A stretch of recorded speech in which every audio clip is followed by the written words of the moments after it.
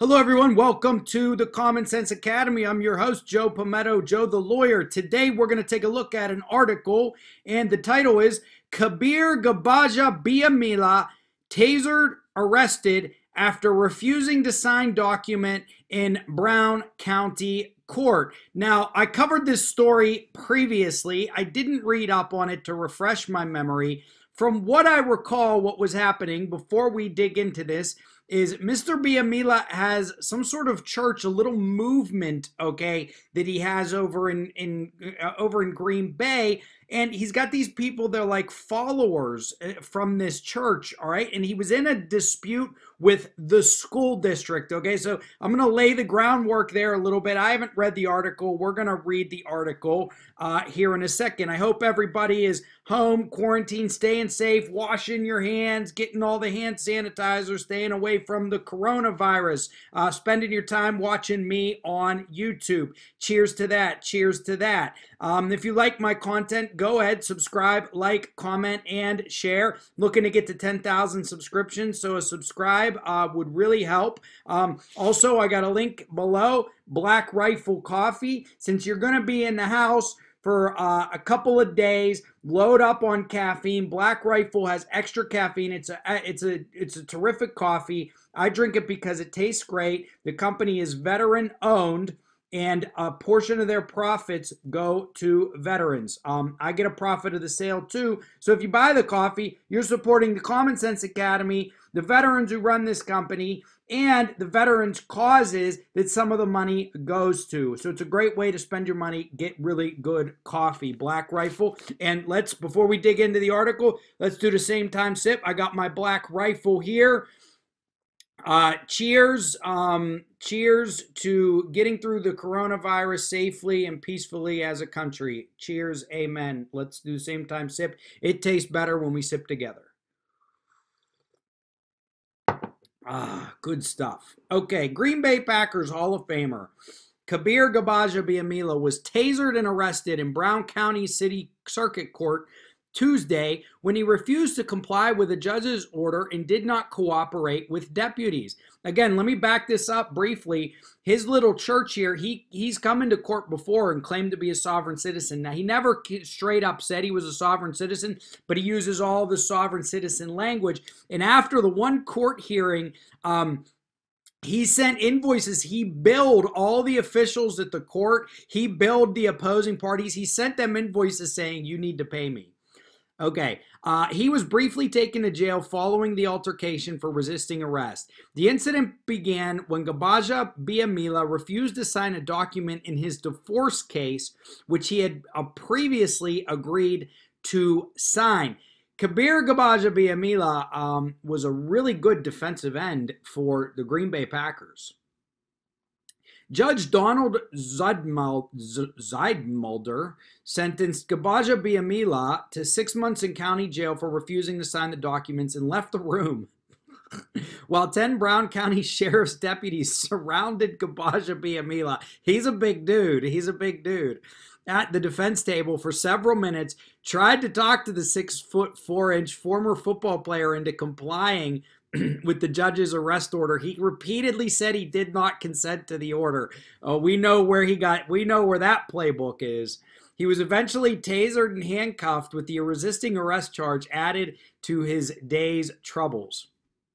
In due course, Gbaja-Biamila agreed to sign the document, which freed him of the contempt charge. But Zuidmulder, Zuidmulder, who returned to the courtroom, said he couldn't help Gbaja-Biamila with the added charge of resisting and he was taken to jail. Gbaja-Biamila, as he has done on a number of occasions, represented himself in the legal proceedings. That's, here we go. He has successfully, unsuccessfully, tried to convince a series of judges and court commissioners of his theory of sovereign citizenship and the belief that his religious views supersede civil law. He's very into using the religious aspect of it. He spent considerable time in court Tuesday quoting the Old Testament in defense of his position that the civil court had no jurisdiction over him. Okay, dude. Zuidmulder, Zuidmulder was initially patient, even after Gbaja-Biamila interrupted him at the start of the hearing. Not a good move. Then he lost patience. I'm not communicating, I'm ordering, Zuidmulder said. After explaining to Gbajabiamila that he could not rescind an earlier agreement to release certain investments to his ex wife. Zuidmulder said Gbajabiamila was being unfair to him by forcing him to order the ex player to jail while the novel coronavirus pandemic was at hand.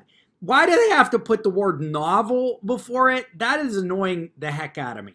No cases have been confirmed in Brown County, but health experts say it's a matter of time. Gbajabiamila opened the proceeding by saying he was not in court in person or as a respondent, but as a man. He said that despite providing the court with a birth certificate from California, I am not a citizen of the Republic, he stated. Let's do another little same time sip here. This uh, fantastic Black Rifle coffee. Mmm. Gets good here. I have my own laws which are superior, Gbajabiamila said. Zuidmulder went along, acceding to Gbajabiamila's request to be referred to as man. Don't give them an inch, Judge, in saying he respected his right to worship the way he wanted to. Amen to that. But none of that would free him of obeying the law. I have to tell you, the law doesn't operate that way, Zuidmulder said before asking Gabaja Biamila several times if he was going to sign the document. Gbaja-Biamila continued to state that he didn't consent, which is never proven to be the talisman he wants it to be. And Zuidmulder imposed the six month sentence. I, I really like this journalist. I like his writing. An attorney who appeared to know Gbaja-Biamila stepped forward with an offer to help with him getting bonded out of jail after he was tasered, handcuffed, and strapped to a chair for transport because he was still unsteady on his feet. He made it clear he did not want her to represent him, however, because he did not want to become a ward of the state. Sir, you may be heading that way anyway. Brown County jail staff said he was out of jail by early afternoon. I mean, this is just hilarious. Um, woo. Uh, you know, go back. I got another story. Um, I got another video. Actually, let me remind myself. I'll link to it in the description below. If you guys want to see my old video on Gbajabiamila, like I said, he operates a church, um, and I have all the respect in the world for that. Um, but this sovereign citizen stuff, mixing it with that, I mean, come on, man. Come on, man. He never really comes forward and says he's a sovereign citizen, but he uses all of the jargon. Um, he didn't want to become a ward of the state, and that's exactly what he became because uh, he refused to respect the, the wishes of the court.